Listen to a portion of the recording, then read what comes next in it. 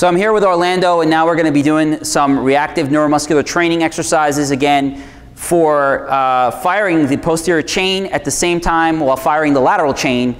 Um, he's going to do a, a push overhead press and using a band around his waist. You can notice that he's firing his abdominals and he's squeezing his buttocks really, really tight, getting the glutes to hamstrings right, and that he's getting that depression of his scapula right here, and his deltoids are really, really on fire right now. And this is a fantastic exercise. He could do this uh, with some speed for some cardio. If you want some cardio fitness, this is a fantastic exercise as well. And it gets a really uh, nice group of muscles.